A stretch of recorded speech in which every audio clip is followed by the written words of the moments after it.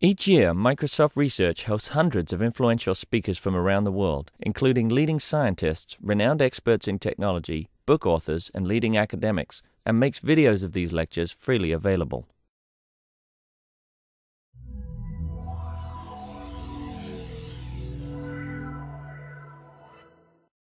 Uh, we're very glad to have uh, Alice Zheng here, and uh, she's a PhD candidate at UC Berkeley working in uh, Professor Michael Jordan's group focuses on uh, application of machine learning to uh, failure diagnosis. She received a bachelor degree in mathematics and computer science from UC Berkeley in 1999, and she has also spent two summers here at the MSR in 2000 and 2001 working in the signal processing group on automatic music playlist generation generator. And then she's going to talk about automatic failure diagnosis in large-scale distributed system today. And um, so I think uh, half of the people here are from the systems networking group, half of the people here from uh, machine learning group. It should be an interesting talk. Thank you, Yimin. Um, so I'm going to talk about um, automatic failure diagnosis in large-scale systems. Um, so the main problem is, is that uh, computer systems are growing both in size and complexity, and it's generating a huge amount of log data. Um, the question is, how do we make use of that data? Um, maybe we can use it to locate faulty components, detect anomalies, um, maybe do automatic configuration and administration, which is what Yimin's group has been focusing on. Um, so I'm going to talk about the problem of failure diagnosis, which is uh, I define that to be the problem of automatically locating error-inducing faults in a large system. There are several potential problems in this area. Um, one is it's a major engineering effort, effort just to obtain data from the systems. Um, and what you, uh, what you, the data that you end up with often has a long list of candidate features. Most of them are irrelevant or redundant. Um, you also have the problem of missing data. Sometimes you just don't observe the faults or you don't observe the, the, the cause of the faults. Um, and you need, since it's a large system with a large amount of data, you need efficient and scalable algorithms to pull information out of it for um, maybe you even want to do it in real time.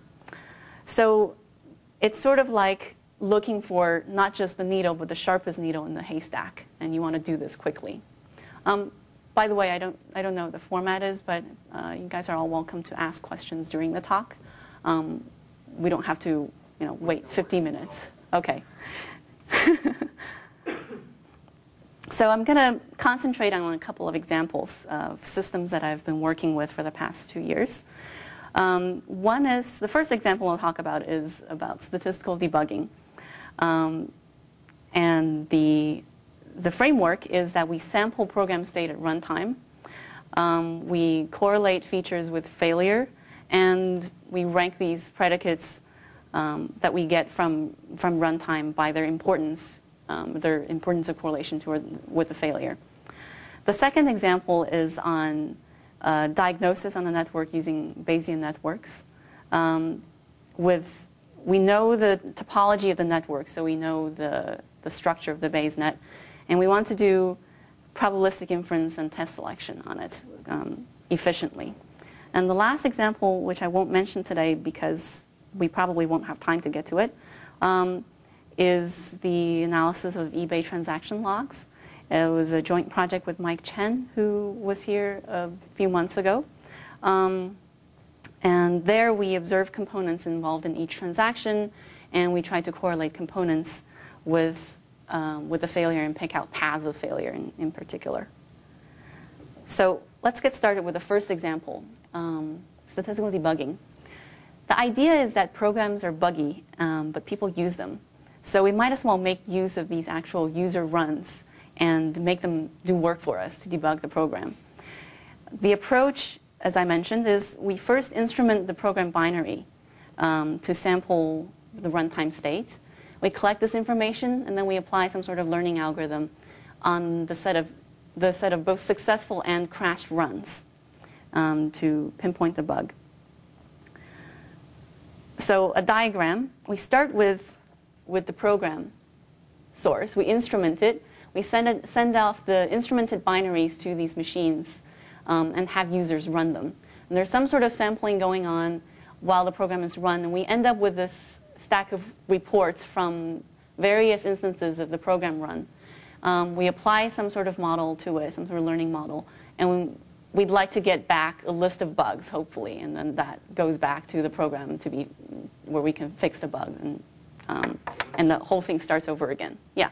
So what is it you're going to get out? Are you going to get like stack traces that, that sort of are sh showing you where the bug is, or you to like line line numbers, or what exactly do you mean by pinpoint the bug? You mean the bug list? I mean, what is? Oh, at this you know, when you say you identify a bug, I mean, what is it? What are you really getting?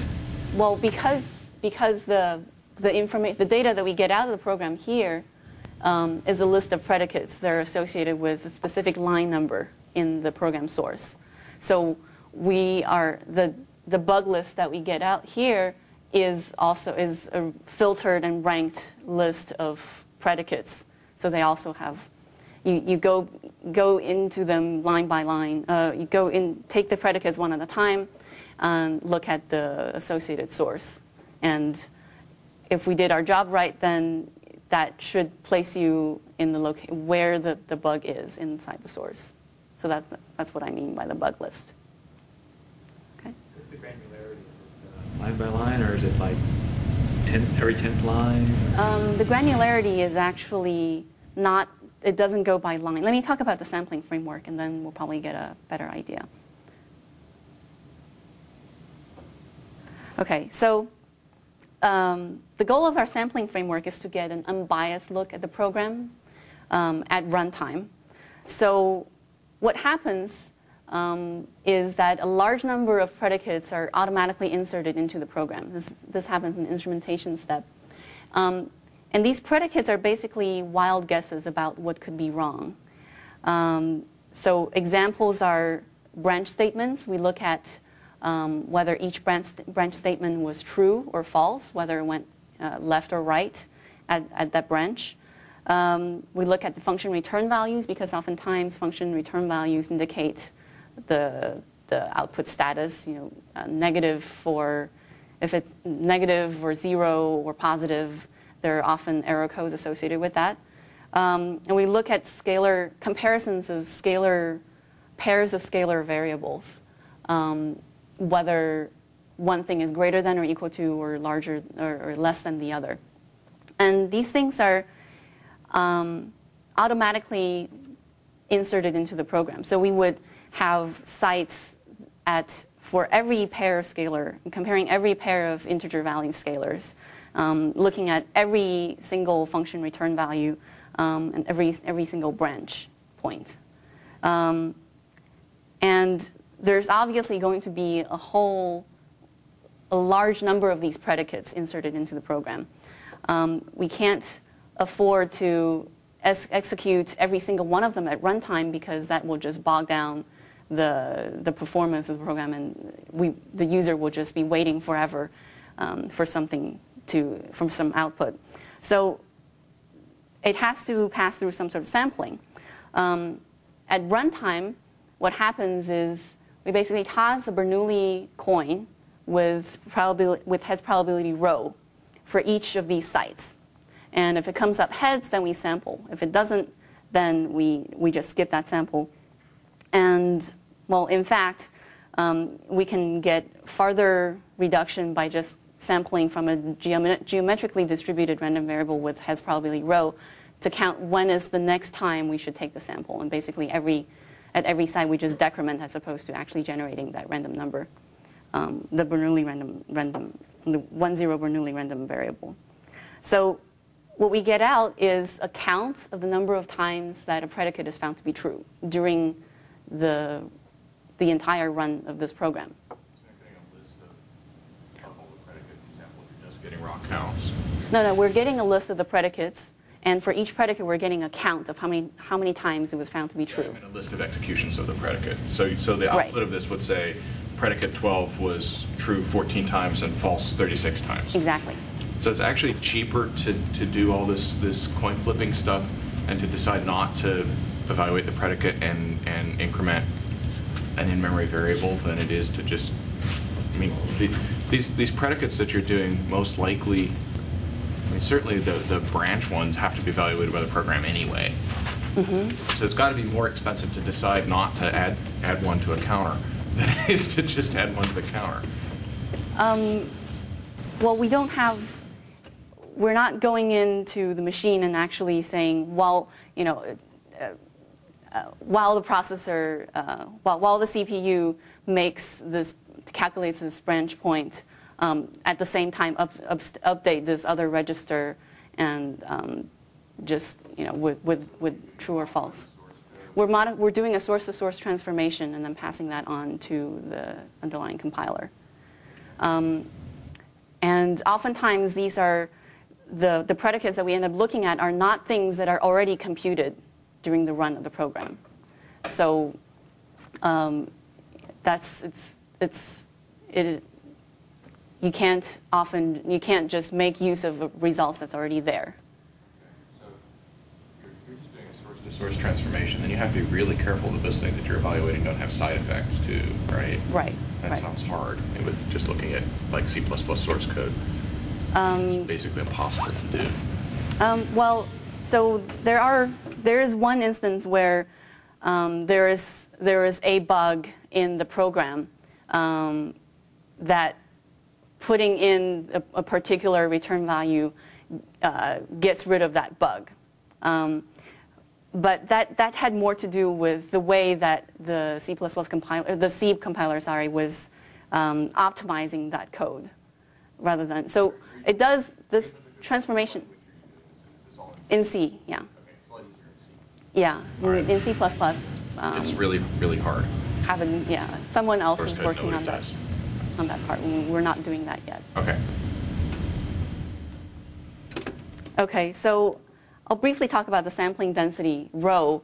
Um, this is something that controls the trade-off between the runtime overhead and data density. So um, choosing rho small enough, um, we need to choose a rho that's small enough to incur minimal runtime overhead. Um, here's a plot of the, the runtime overhead for one of the programs that we, uh, that we experimented with. And you can uh, sorry, it's a, it's a little small, but basically, uh, when you go down to sampling rate 1 in 100, so on average, taking one observation per 100 sites you, you, you run over, um, then you can get down the runtime overhead to within 5% of the usual um, runtime requirement. Um, so getting it low will incur less runtime overhead, but that means we need more runs to compensate for sparsity of the data. So if you, uh, if rho is small enough, you run faster? I, I don't understand. If rho is small enough, then we're taking fewer samples. And so there's, the program would have run without? no, no, no. Oh, okay. The, the baseline is 100%. So, sorry. So this is usual, the scale is part, pardon? What's, we've got that line that goes across there on the scale. What, what is that? We can't read the number. Does that say one? Yeah. Oh, that does say one. Yeah, so, hmm, never noticed that. Um, I thought the 95% is one. Um, I guess in this, this case, it actually runs faster than, than the That's- usual. It doesn't make much sense. That's kind of strange, isn't it? It's, Can we crank rho way down and get all our programs to run faster? Change the cache frequency. Why is that strange? it, it could be something to do, it could have something to do with optimization of the, the program source in the compiler. It's, it's not completely unbelievable. It's just strange. No, It's, it's not unbelievable, it's it's an happened before. Hey, I, I'm, I'm not doubting that. It's It's just just that, the data in the program. you know, the first thing that you see, and you think that it's a measurement error. And then if you really look at it and it turns out that it's just a cache behavior, okay, that's plausible. Sorry, we've hassled you enough. Go ahead. Um, okay. so I'm going to concentrate on some problems that we encounter um, for, for this setting.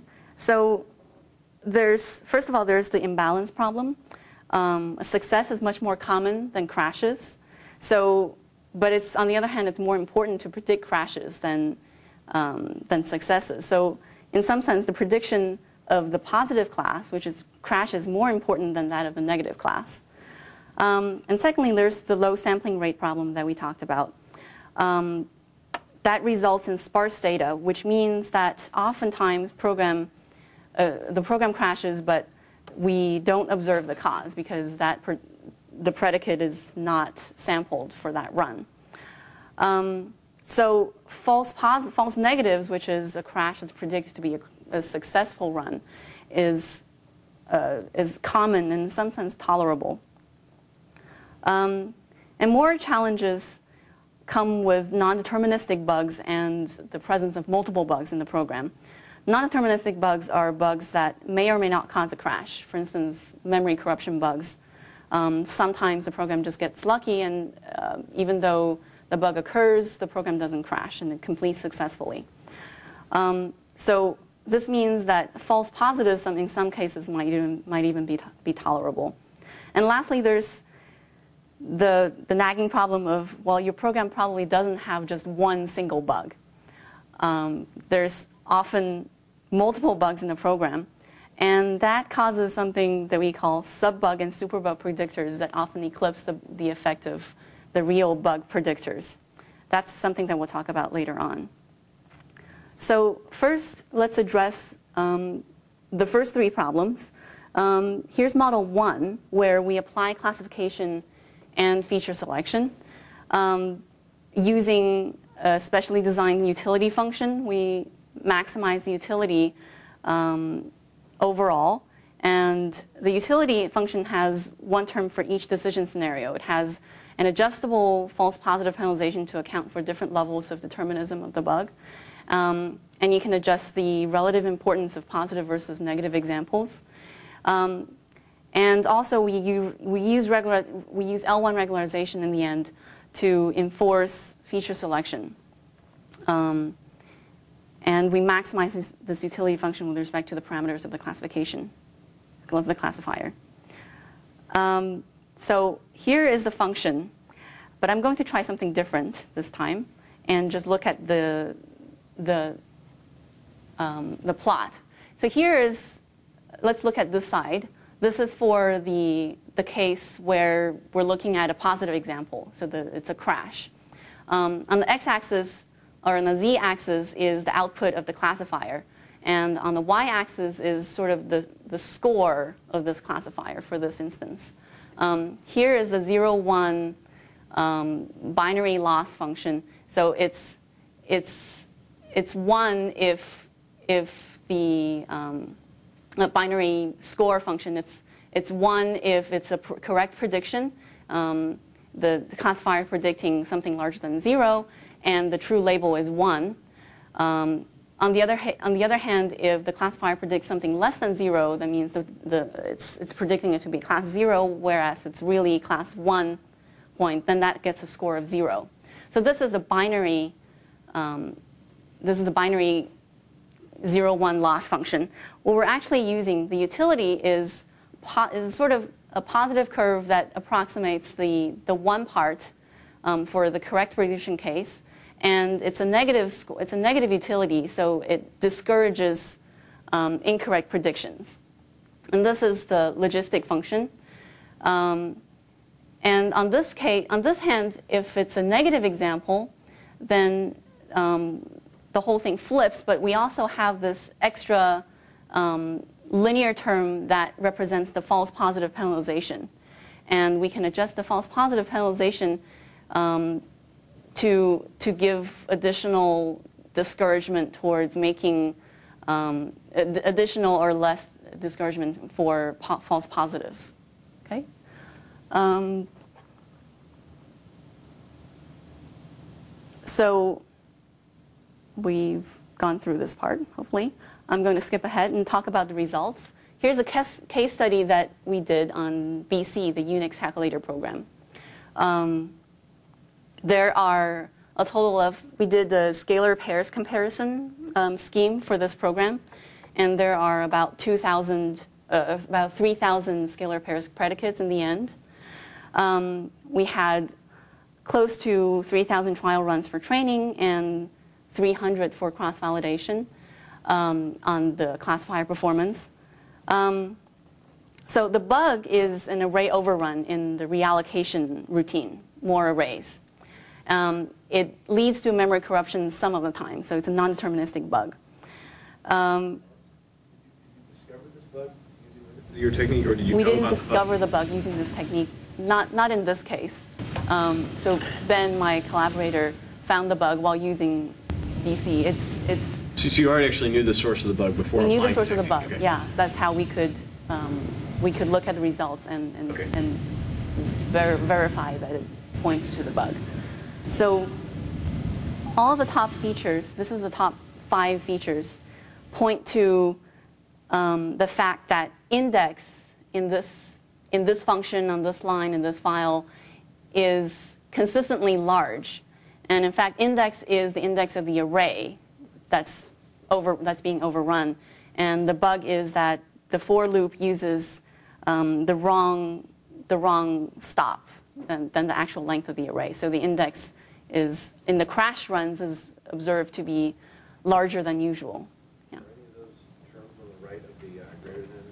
The size of the array? So the, the actual size of the array um, is ranked number eight on this list. Um, this leads to the problem that I'm going to talk about next. Um, so as you can see, so there, there are a few problems with this model. Um, first of all, the classifier allows for an arbitrary linear combination of the terms of the features that sometimes gives too much flexibility because most of the bugs are simple and involve only a few predicates.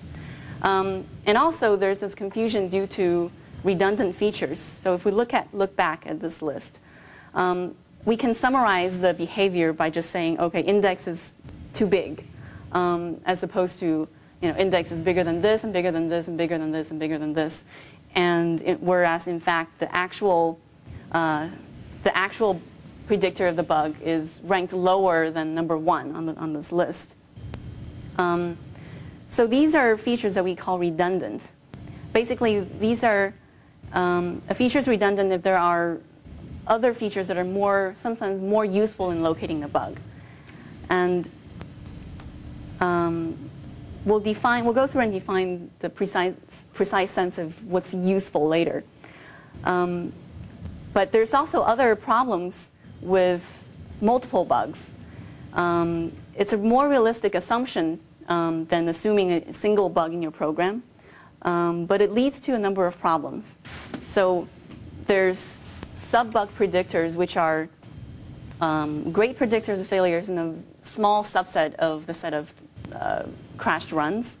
And there are superbug predictors that is a noise predictor, basically, that um, happens to correlate with a large set of fail, failed runs. Um, neither of these are very useful for locating the bug. Um, but classifiers tend to find superbug predictors for this overall effect. It, it sort of correlates with a large number of crash runs. And then it picks out these subbug predictors that concentrate on particular subsets of failed runs that don't get covered by the superbugs. Um, so here's another example. Um, is a software analysis program with a large user database and a long development history. Um, there are seven known bugs that, that looking back along the, the, the history of the, the development, we can, these are, these are the actual bugs that have occurred. So we have 32K runs um, of this program, which came out to be about 6.7 gigabytes of data. Um, the bugs are, there are three different kinds of array, array-related bugs, two database access errors, some obscure bug in matching comments, um, and a bug in the list, list processing code. And the results of Model 1 on MOSS, the, here's the top, top 10 predicates. There's basically two categories. So the, the P plus these, these predicates, this one and that one, um, those are those are sub-bug predictors for matching the for, for the common matching for the common matching bug, whereas the rest of them, um, i greater than greater than some number, those are superbug predictors that correlate with a large number of failures. I is basically the length of the command line in this case, and um, this is saying, oh, when the command line is long, it seems like um, there's more chances of the program. There, when, when, when, when I'm given more uh, options on the command line, there's more chance of making of the program crashing than otherwise. So that's not very useful. Um, we'd like to we'd like to have a better measurement for the relevance and irrelevance for a certain predictor. So we're going to make a few simplifying assumptions first. Um, one is we're going to consider one predicate at a time, um, do univariate tests as opposed to do this overall linear combination of features. Um, and the other thing is we, are only going to look at the binary value as opposed to count. So we're going to look for predicates that are, um, who, which when true is more likely that the program crashes than when it's false. So the first question we're going to ask is, how likely is failure when predicate A, some predicate A is observed to be true? Um, so we define the relevance of A to be the probability that the program crashes when A is observed to be true. And um, one way of measuring irrelevance is by looking at the context of the predicate in the program source.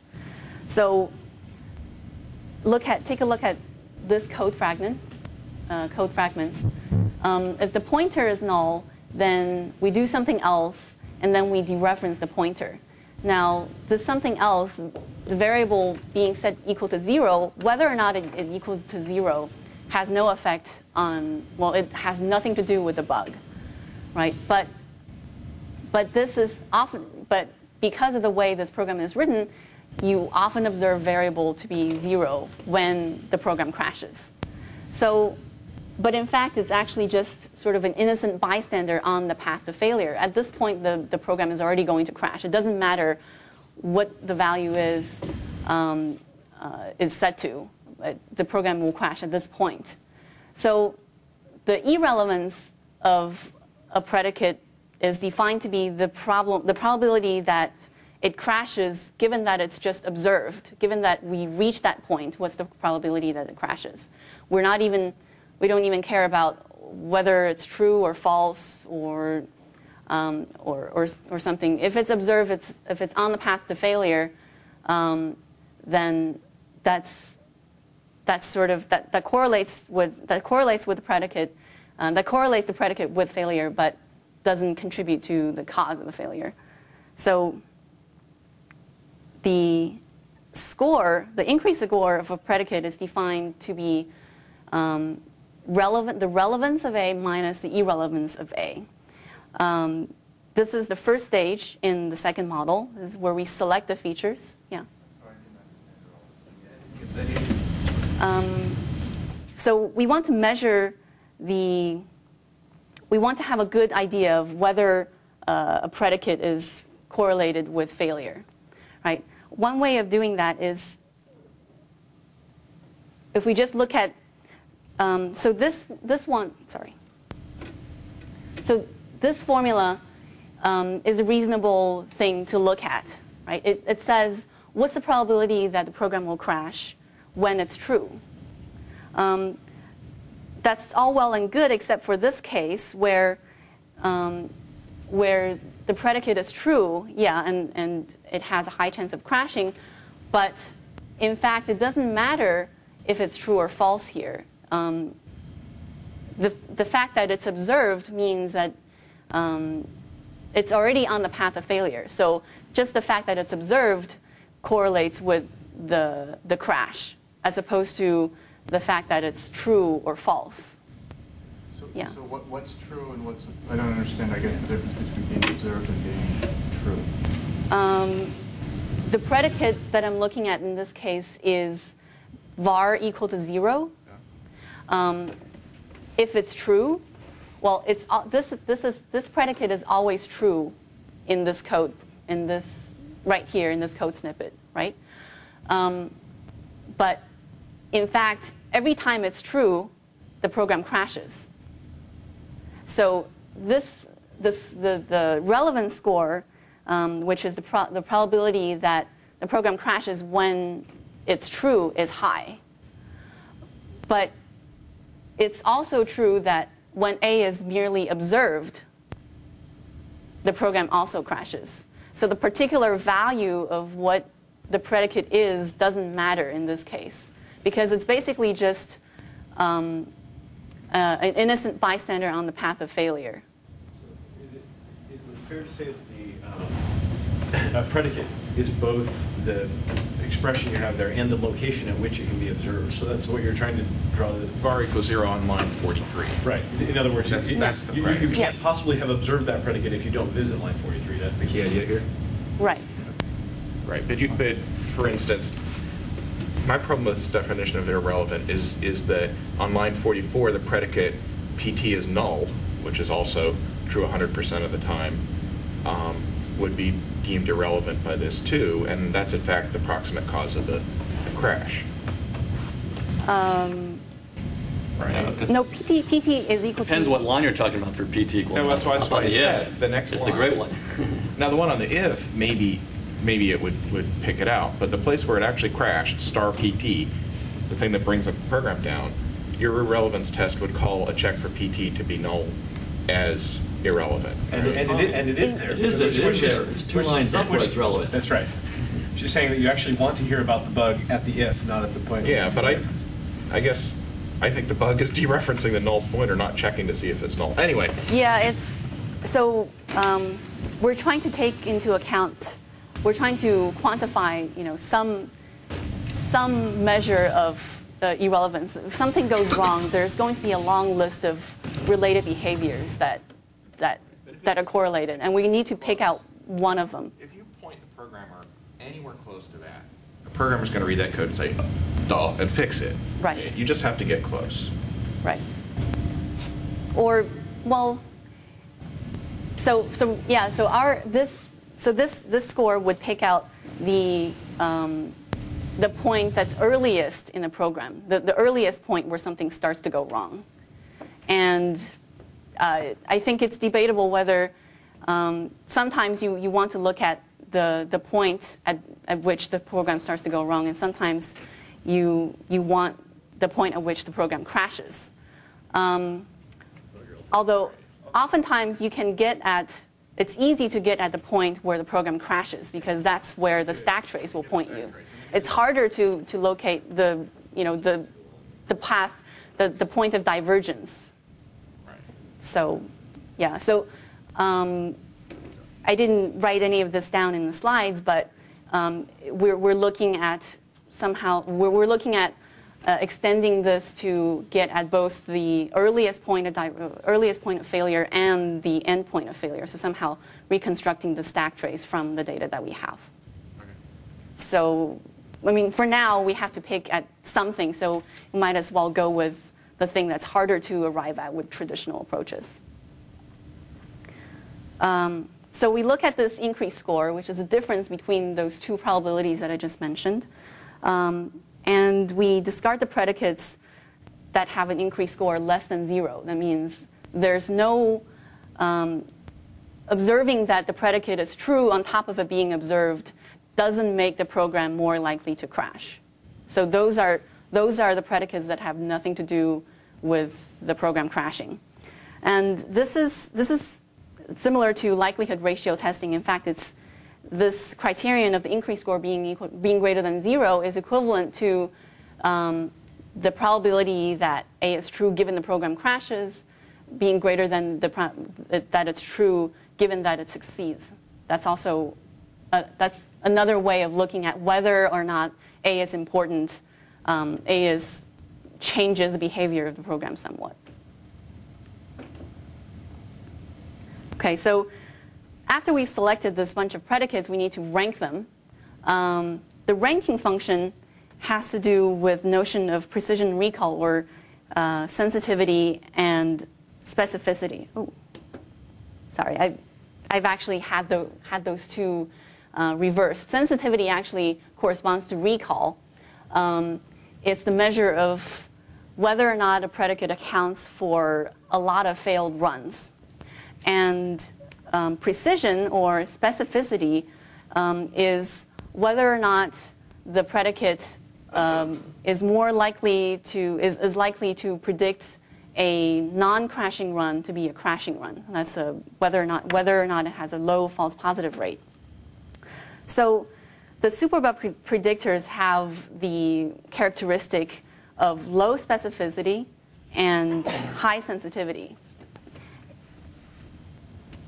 Um, it's correlated, it's sensitive in that it accounts for a lot of failed runs, but it doesn't, it, it also mispredicts very often and say a successful run is, uh, is, is, is crashing. So think back to, to the MOSS example where, um, where the, the model picked out uh, the, some length, command line length to be long. Uh, when the command line length is long, oftentimes it means we're doing something complicated and there's a larger chance of error, but just as many successful runs have long command lines as not. Um, and subbug predictors have high specificity but low sensitivity. So these are things that hone in really well on a, on a specific set of failed runs. Um, but it doesn't take into account a lot of the other failed runs. Um, we want an actual uh, good balance between these two, so we use the harmonic mean, um, which is 2 over 1, uh, 2 over 1, the, the, inverse of each of these uh, specificity and sensitivity scores. Um, here we're going to use the increase score as the measure of the sensitivity of the predicate. And for sensitivity, um, we, we look at a nonlinear transformation of the, the, the number of failures accounted for by A and the number of the, the total number of failures. Um, and this choice, we, we choose this function phi to be the log because that moderates the impact of very large number of failures. Um, so we oftentimes, even a really good predicate doesn't account for all of the runs. Um, doesn't account for all of the failed runs because there are multiple bugs in the program. So, in, so making the phi to be log function um, will discount the effect of larger magnitudes and focus more on the, the, the, lower magnitude increases of the, of the numbers. So the overall model, model 2, is first we do selection, where we select the predicates by their increase score. And then we rank them by their importance score, which is a harmonic mean of specificity and sensitivity. Um, we retain the top ranked predicate and we discard all of the runs in which that A already accounts for, and we reiterate um, and we recalculate importance for the rest of the predicates. Okay, and then we iterate this until either we have no more runs or no more predicates. Um, this is essentially a greedy set covering algorithm for learning disjunctions. We basically want a, a sparse set of predicates that accounts for all the failures. Um, so a, a, failure covers, uh, a predicate covers a failure if it's observed to be true in that run.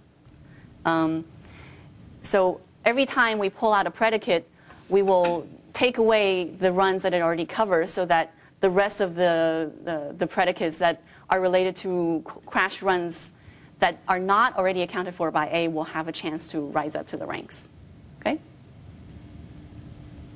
Um, here's the results for Model 2 on MOSS. Um, it's a very short list. This is actually all that we end up with after this program, uh, after the, the, the algorithm is run. On the right-hand side, well, it's sort of a distribution of bugs. We have the ground truth of which bugs, um, of how many runs in which this predicate is, is observed to be true, and which bugs um, those runs belong to. And if you can sort of just blur your eyes and pick out, okay, large number, you know, large number um, large number, large number, you can sort of see which bug each predicate accounts for based on the, the histogram on, on the right-hand side. Um, so this actually has, it, it effectively, all of, the, all of these predicates, all the top um, eight predicates, there's one each for each of the, the bugs that we mentioned. Um, there is one sub-bug predicate. Number two is actually a sub-bug predictor for the first bug that is that had, that was very persistent in staying on the list. Um, whereas the actual the actual smoking gun for the bug is um, whether uh, matching comment the, the matching comments flag is on. That's rank number six. Okay, F is okay. less than F. How can that ever be true? oh, this is this is um, this is measuring the effect. This is the predicate that measures um, the the value of F after the assignment versus oh, the value, its value before.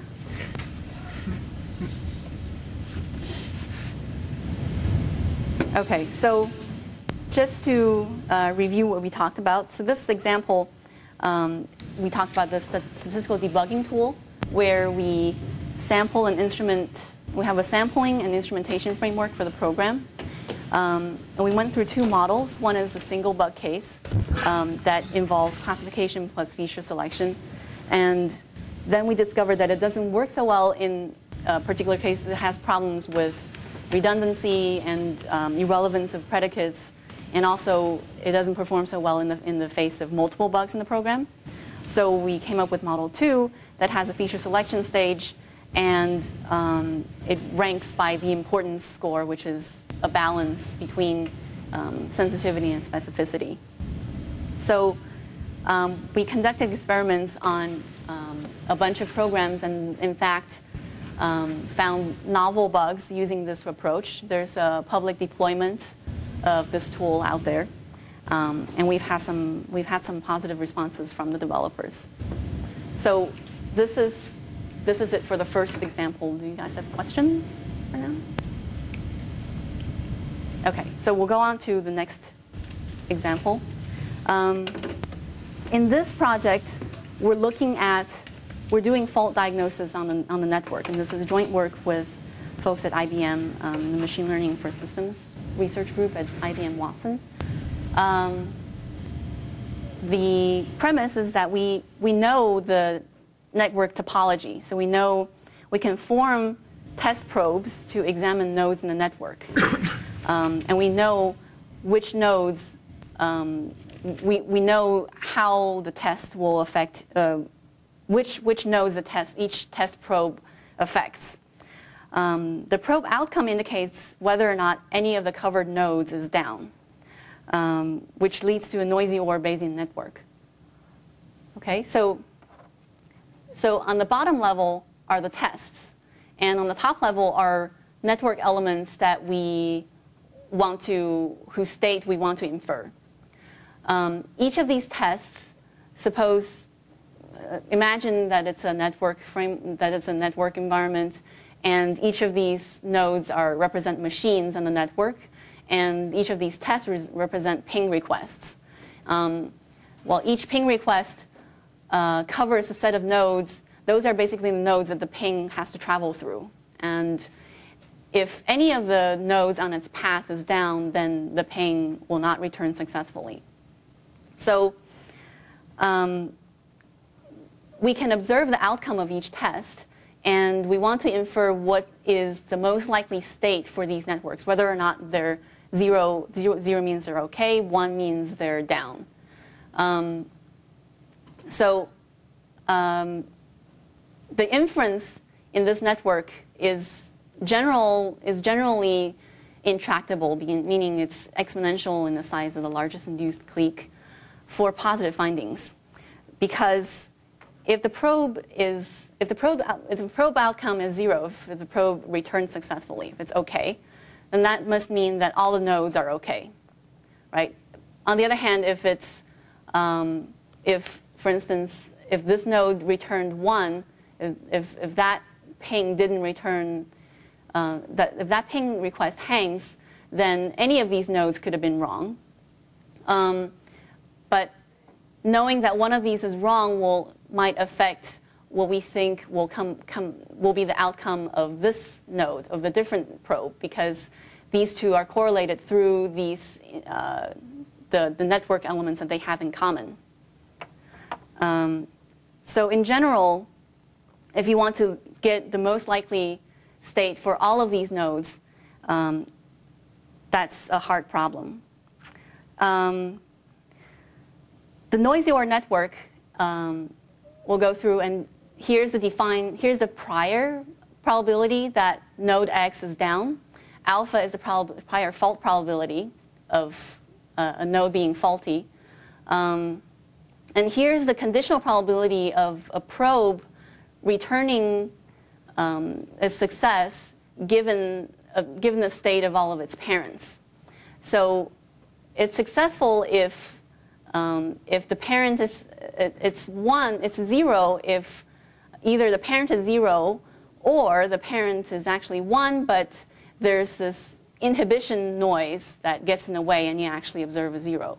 So that's, that corresponds to um, two cases where, um, where there's some noise in the system and there is actually a bug, but because of these obscure noises, you don't observe the bug on output.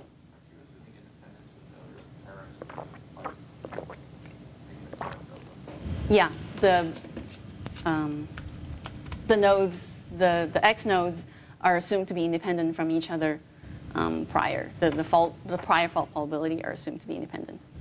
Okay. Kind of a big assumption. But, okay. Which is not a good assumption, but um, we have to start from somewhere. All right. Okay, so um, the problem that I'm going to look at is actually how to use the minimum number of probes to obtain the most certain diagnosis.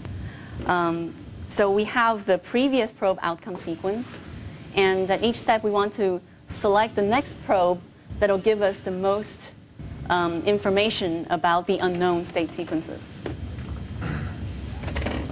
So the next probe is picked to be the one that, that maximizes inf mutual information between X and T, given what we've, what we've obser already observed. Uh, so um, the mutual information is um, turns out to be the entropy between x and t plus some constant that doesn't that that doesn't have anything to do with the next probe, um, with, the, with the next candidate probe. So the entropy term has uh, has two has two terms plus some constant. Um, the the first term, um, well, the two terms are both some sort of entropy uh, quantities that we'll talk about. But this, mean, this, this, this says that maximizing information gain is um, equivalent to minimizing the conditional entropy of x given t, uh, minimizing conditional entropy of x, the network nodes given the candidate probe. Um, so let's look at the two terms in more detail. Um, the, actually, how long should I continue on for? Probably 10, 15 minutes, okay. Um, so there are two terms, and you can blur your eyes a little bit. This first term is the cross entropy between um, the probability, the probability of that whole family of, of nodes, uh, the probe node, the candidate probe node and its parents, and um, the conditional probability of what the, what the probe node will, will output given the, the state of its parents. Um, and the second term is just the, uh, the, the, entropy of um, the output, the outcome of this probe given all the probes, all the probe outcomes that we've already observed. So we need to approximate each of these. Um, for the second term, we can just use um, we use belief propagation to approximate this probability. And for the first term, we can actually do perform this calculation during the process of belief propagation, as turns out. So um, how many people here already know about approximate inference and what that's about? Okay. Um, so the goal of approximate inference is um, is to figure out um, what the what the state of the uh, of the un, of the hidden nodes are given some observations. The observations are E. Um, we want to compute the posterior probability of a set of unobserved nodes um, given E. So that requires possibly marginalizing other hidden nodes in the, in the network. Um, and here's, here's the, um, the base, the, the, the, conditional probability of uh, the unobserved nodes given the observed nodes. Um, belief propagation basically works by passing, passing these messages back and forth through the network until everything settles into um, a, a, steady state. So suppose that we observe some output for, for the second probe, for T2. Um, T2 pass its, its, what it knows about its state to its parents, and its parents um, passes on the message to the other nodes in the network, and the whole thing um, iterates until um, it converges, or if it goes on too long, then we just declare that it has diverged. Um, so belief propagation is a common uh, approximate inference technique.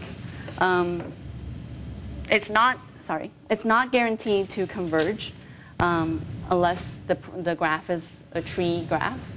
Um, and we can make use of it by um, like I was saying, we can use it to directly calculate the second term in the, in, in the entropy. Um, but for the first term, we can actually make use of the same message passing uh, mechanism to, to do the computation. Um, so belief propagation updates the single node beliefs, which are um, approximate probabilities of that, the, the, the state of that node by these messages that are received from other nodes. Um, we can use this to simultaneously update our approximate term for the entropy.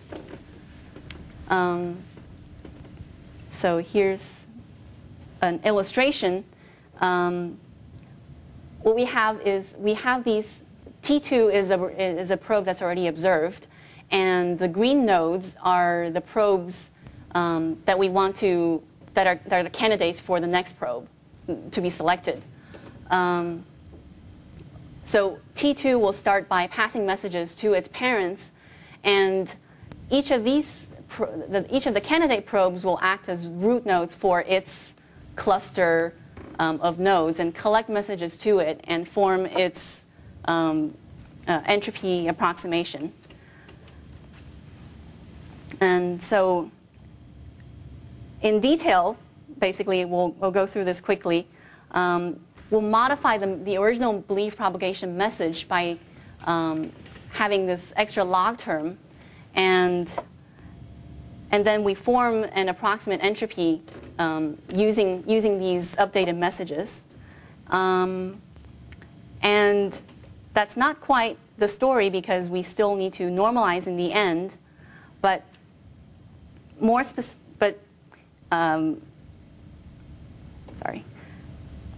So basically what we have is T is, T is the candidate probe and the parents of T um, will, will pass messages to it. Um, and we, we come up with this final form of messages that need to be normalized before we can obtain the appro approximate entropy.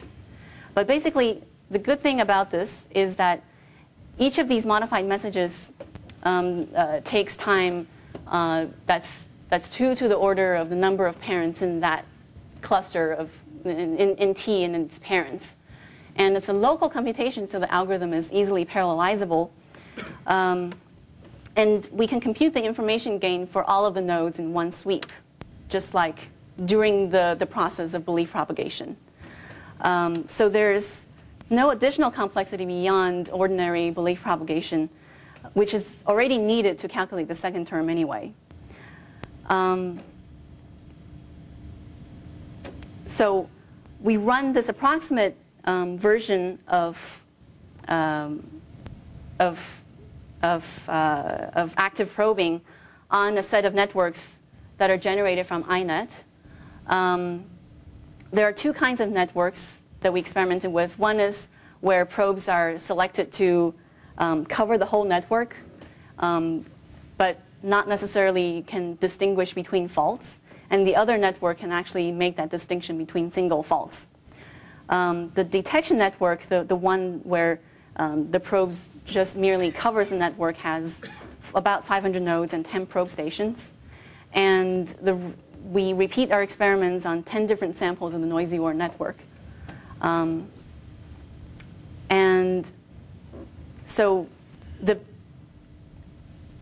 the approx- here's the approximation accuracy um, for term one and term two um, over different, uh, different levels of inhibition probability. Um, and also the, the red and green lines represent two different values of the prior fault probability of our network.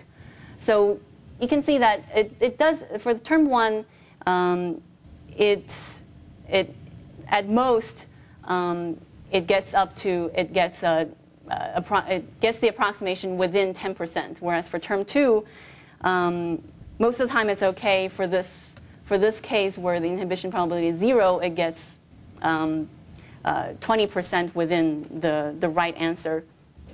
Um, but in fact, when we look at the diagnosis quality, we see that even though we're doing this approximate algorithm um, and things are not guaranteed to be, to be, to be true, and we have this, this, we do have noise in the approximation, the diagnosis quality is, is actually the same. There's actually two lines in each of these graphs um, representing different levels of well, the two graphs represent different levels of fault, prior fault probability. Um, the blue line is what the exact algorithm would get, and the colored lines, the red and the green lines, um, are the results of the of the of the approximate algorithm. Um, and they, in fact, they lie right on top of each other. Um, so so having this approximate algorithm doesn't affect the diagnosis outcome at all, which is what we really care about. Um, similarly, if we look at the size of the selected probes, um, the two, the, the, exact versus the approximate algorithm gives us almost identical answers in pretty much all of the uh, settings of the network. So here's a summary. Um, we we want to do efficient diagnosis in a large network with known topology, um, which means that we need some quick approximation uh, algorithm for uh, information gain. Um, we use this modified belief propagation algorithm to approximate, to approximate the entropy terms, and we find that the diagnosis quality is actually comparable to that of the exact algorithm, despite the fact that we're approximating uh, the terms. So um, an overall conclusion, I've talked about two examples of fault diagnosis systems. One is software debugging, and the other one is diagnosis in the network. Um, and we talked about some issues of redundancy and sensitivity versus specificity of the predictors, and also the efficiency of the algorithm, um, which often dictates what kind of algorithms are are practical for, for these networks. And um, despite appearances, the two have a lot in common. In one case, we know the network topology, um, and hence we know how the test probes correlate with the network elements. And in the other case, we are, um, well, okay, in the second case, we're trying to do, we're, we're trying to do the, the diagnosis as quickly as possible using the fewest number of probes um, whereas in the software debugging case, um, we, we sort of know which, which predicates correlate with which program, um, with which uh, crash run or successful run of the program. Um, there's a lot of noise in that relationship, and we're, we, want to, um, we want to do, we want to select uh, select, have a very sparse set of features uh, of predicates that account for all the failed runs, and we want to rank their importance. So um, the lessons that we learn from one system is carried over to the, to the other systems. Um, where do we go from here? Well, we need better and more robust algorithms in the face of noise. Um, maybe we, we can get some real world deployment um, out of these, uh, the tools that we already have. And um, also, there are also lots of other problems, problem domains and formulations that one could look at. And um, um, perhaps the lessons that we learn from here will apply there as well. So, thank you.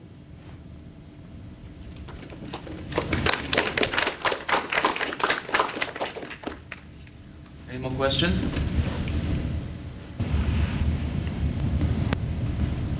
Okay. Thank you, Alex.